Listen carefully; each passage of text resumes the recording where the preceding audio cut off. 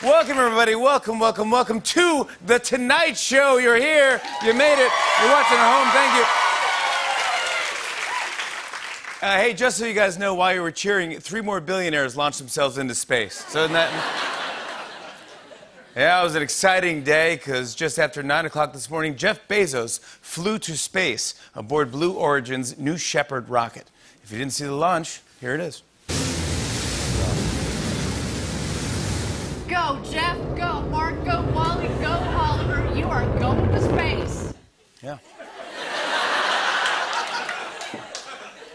First Branson, now Bezos. Tomorrow, Warren Buffett is going to try to get up there with balloons like the old guy from Up.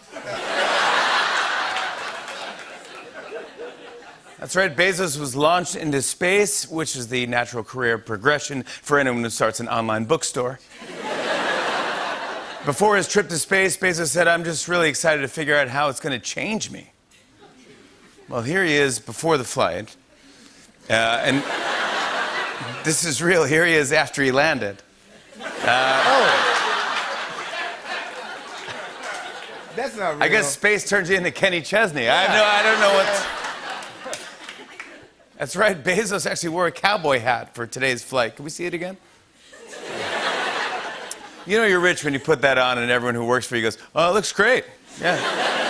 You're a man of the people, just going to space. Let me see it again one more. He, he, he looks like a mashup between Buzz Lightyear and Woody.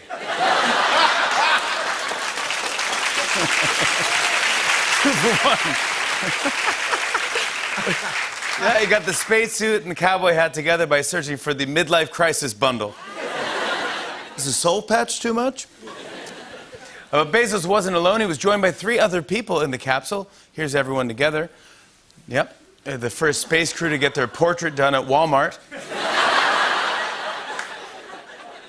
they look like they're about to do the 245 show at the main pool at SeaWorld.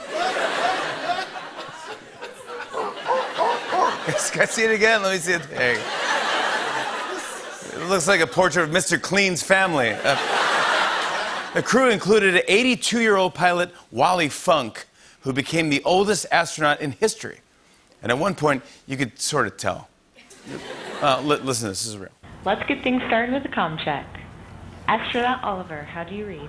Blue Control, astronaut Oliver, loud and clear. Astronaut Bezos. Blue Control, Bezos, I read you loud and clear.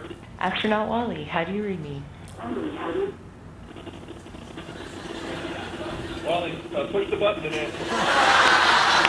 push the button until you can hear good.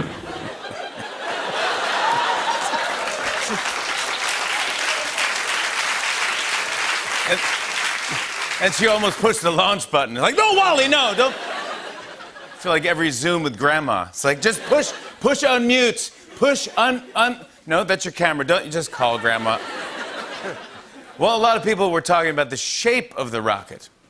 Can we see a photo of it? kind of looks like, well, I mean, why would you design it like that? I just. Anyway, uh, let's just put 30 seconds on the clock and see how many jokes we can do here. Uh, you want to get in on this streak? Oh, you know it. All right, here we go. Uh, it's the only rocket that shrinks in the cold. Uh, they designed it at the Johnson Space Center. Uh, it looks like R2D2 took some Viagra. they don't keep it in a hangar, they keep it in the top drawer of a bedside table. Right after the launch, the rocket goes into sleep mode. I'm surprised news channels didn't have to blur that. Next up, the ozone. it's not. it's not that hard to get to space. well, it took a long time to erect it.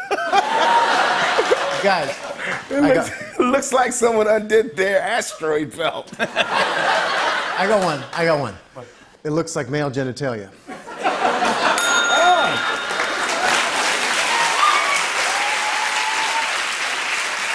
Wow.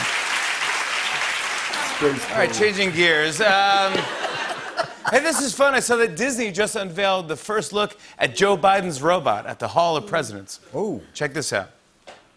Oh. they can't seem to master these, yeah?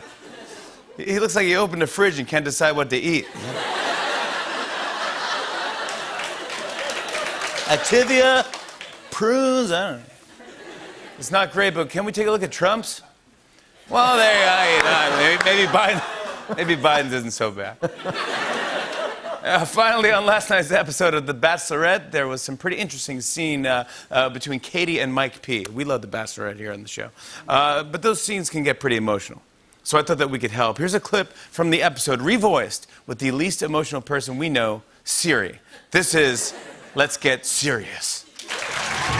Let's get serious. She is a nurturer, and man, do I love nurturers. She reminds me of my mom. Your legs are soft. Oh, well, thank you. Ha ha. My mom brings a nurturing touch to everything and every situation that she comes in contact with. Katie does the same thing. You remind me of my mom. Really?